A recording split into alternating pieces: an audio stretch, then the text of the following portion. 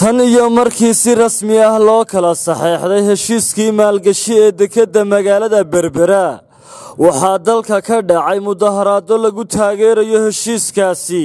Dadweynaha degmada shiikh ayaa mudaharaad ballaadhan ka dhigay magaalada shiikh. Mudaharaadkan ayaa qayb ka ahaa mudaharaado dhowr ah oo hore uga dhacay dalka kuwaasoo lagaga soo horjeedo go'aanka dalka soomaaliya ee ku wajahan heshiiskii maalgashi ee dhowaan dowladaha somalilan etoobiya iyo imaaraadka carabta ku kala saxeexdeen magaalada dubai. Dadweynahan ayaa sheegay in soomaaliya ay ku ekaato deegaanada ay maamusho oo keliya. Sidoo kale mas'uuliyiintii kala duwanaa ee ka socday maamulka gobolka saaxil ayaa ka soo qayb galay mudaharaadkaasi mas'uuliyiinta ka soo qayb galay waxaa ka mid ahaa maayarka magaalada shiikh ibraahim cabdulaahi cabsiiye barasaabka gobolka saaxil jaamac yuusuf axmed xildhibaanno iyo xubno kale oo aad u tiro badan. Dhammaan khudbadihii halkaasi laga soo jeediyey ayaa lagu dhaleeceeyey.